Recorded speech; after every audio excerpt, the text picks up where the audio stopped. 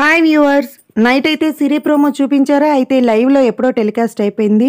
ఇక ఈ రోజు హౌస్లోకి కీర్తి ఇనాయ రేవంత్ ఈ ముగ్గురు ఫ్యామిలీస్ రాబోతున్నారు. సో ఈ రోజు అయితే వీరికి కూడా మంచి మంచి హింట్స్ వచ్చే అవకాశం అయితే ఉంది.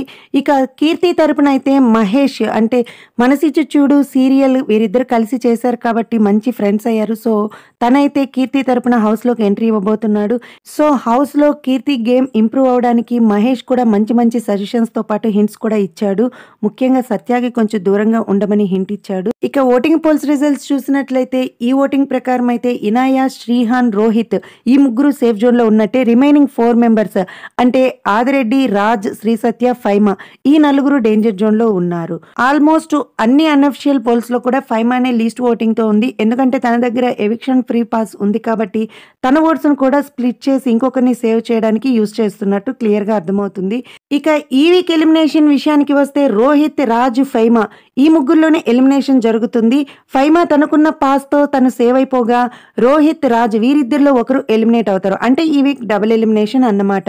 రోహిత్ అన్అఫిషియల్గా సేఫ్ జోన్లో ఉన్నప్పటికీ అఫీషియల్గా మాత్రం తను డేంజర్ జోన్లో ఉన్నాడు అని తెలిసింది. వీక్ మొత్తం హౌస్లో శ్రీ సత్య ఫైమాతోనే ఉన్నట్టు నాకు అనిపించింది. ఎవిక్షన్ ఫ్రీ పాస్ కోసమే అని నా ఒపీనియన్ మీ ఒపీనియన్ ప్రకారం మీరేమనుకుంటున్నారో నాకు కమెంట్ సెక్షన్లో షేర్ చేయండి.